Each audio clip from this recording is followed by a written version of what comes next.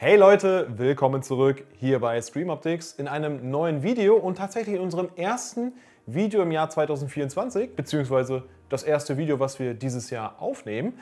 Und ich freue mich tatsächlich riesig, denn wir sprechen heute über die neue Kamera von Cartovision und zwar der Cartovision KT UH71. Tatsächlich wieder mal so ein Name, mit dem man im Zweifel gar nichts anfangen kann. Und deswegen sind wir heute da, um euch ein bisschen zu zeigen, was die Kamera kann und was sie tatsächlich an Besonderheiten so mit sich bringt. Und tatsächlich ist das die Kamera, die bei uns nun in unserem Setup verwendet wird. Wir haben nicht nur ein festes Setup bei uns hier im Office, sondern tatsächlich mittlerweile auch ein mobiles Rack, mit dem wir dann tatsächlich mal unterwegs sind. Und auch da bekommt diese Kamera nun einen Schwerpunkt, beziehungsweise hier wird die nun verwendet. Deswegen freue ich mich, dass wir darüber heute mal in Ruhe sprechen und ich euch zeigen kann, warum wir uns für diese Kamera entschieden haben und vor allem, welche Besonderheiten sie tatsächlich hat. Denn die Kamera hat tatsächlich einiges zu bieten.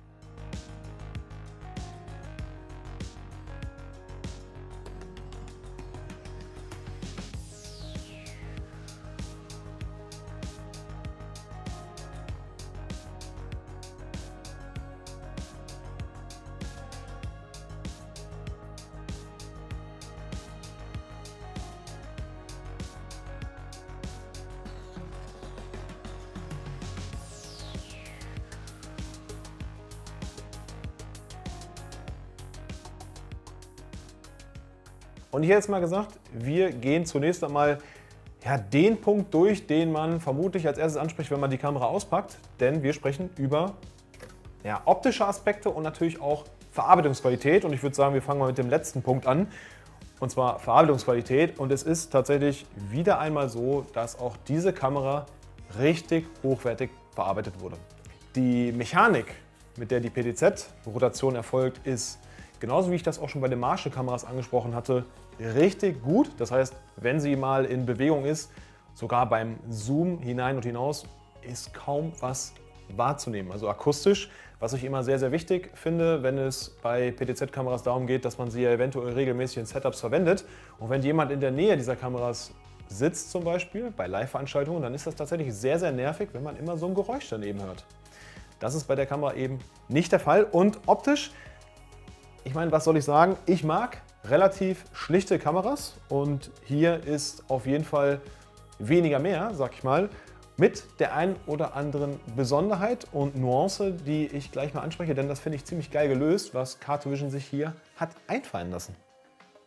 Was wir aber natürlich vorher mal kurz besprechen sollten, ist natürlich der Lieferumfang. Und hier hätten wir zunächst einmal ein USB-Kabel, sofern wir die Kamera tatsächlich mit einem PC verbinden möchten, um darüber dann eben die Kamera zu steuern. Wahrscheinlich eher nur ein kleiner Anwendungsbereich, aber vielleicht für den einen oder anderen interessant, sollte er mal irgendwie auf die Idee kommen, das Ganze so zu nutzen. Darüber hinaus haben wir natürlich noch den Mount, um die Kamera zum Beispiel an einer Wand oder an einer Decke zu befestigen. Wir hätten die Fernbedienung, Netzteil samt Anschluss, natürlich auch vorhanden und natürlich noch ein HDMI-Kabel, ein weiterer Anschluss, den wir an der Kamera finden und last but not least das Kabel für die RS-Schnittstelle 232. Naja, für diejenigen, die tatsächlich noch diese Schnittstelle benutzen und eventuell da tatsächlich noch einen Schwerpunkt setzen. Auf jeden Fall genug Anschlüsse, damit jeder was davon hat. Aber da ich gerade über das Thema Anschlüsse spreche, gehen wir es doch einfach mal durch, oder?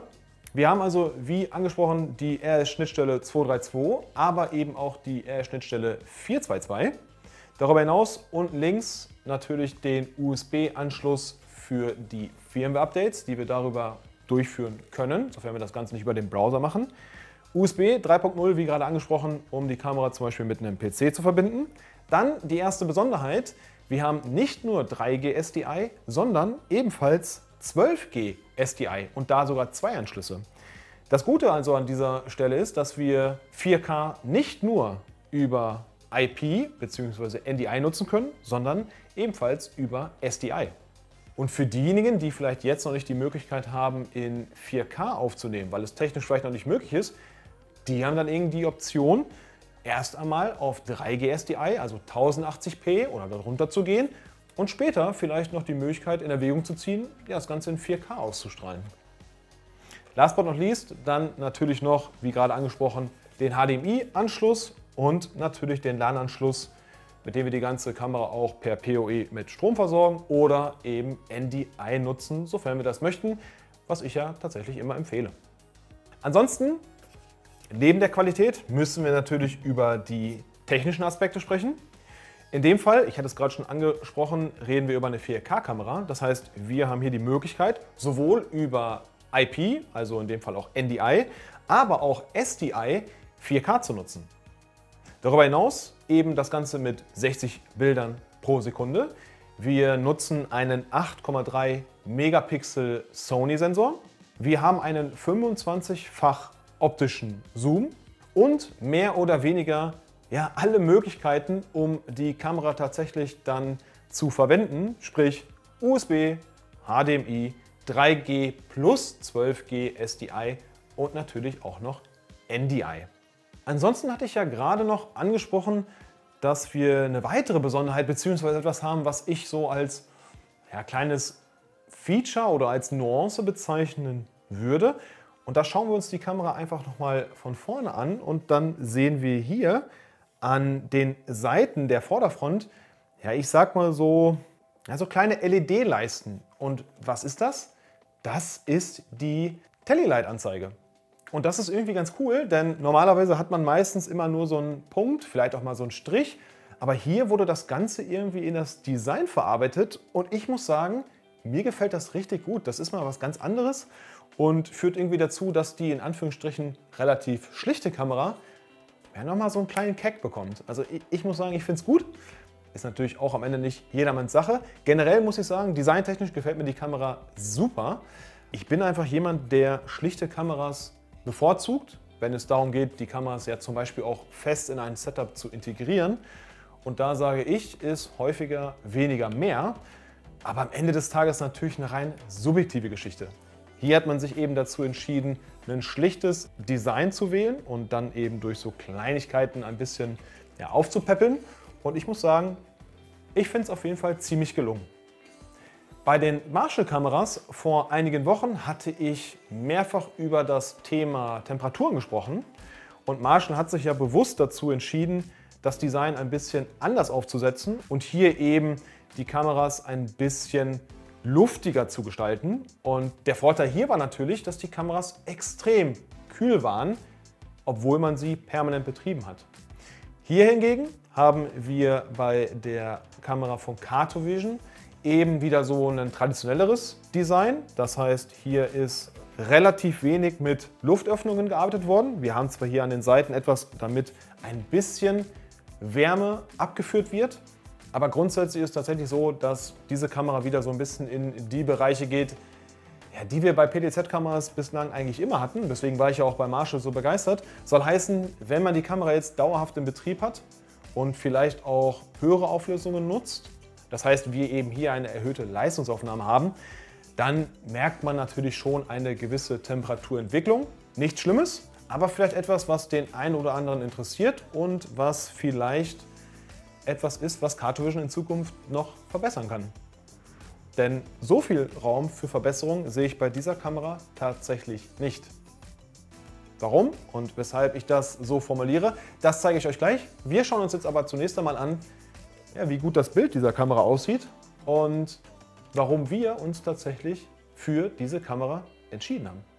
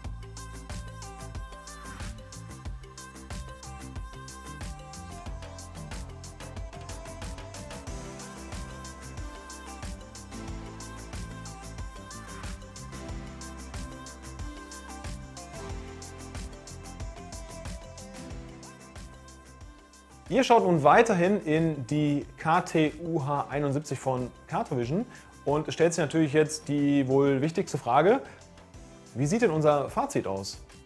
Und natürlich wäre es jetzt ein bisschen seltsam, wenn ich euch sagen würde, ja, die Kamera ist so, lala, ist Durchschnitt. Denn ich meine, wir haben uns für die Kamera entschieden, deswegen muss sie ja schon vielleicht das ein oder andere drauf haben. Und hier muss ich das Ganze vielleicht so in mehrere Kategorien einteilen. Fangen wir mal zunächst damit an, dass die Kamera ungemein flexibel ist. Das heißt, wenn ich die Kamera beispielsweise per USB verwenden möchte, dann kann ich das. Möchte ich HDMI nutzen, kann ich das ebenfalls.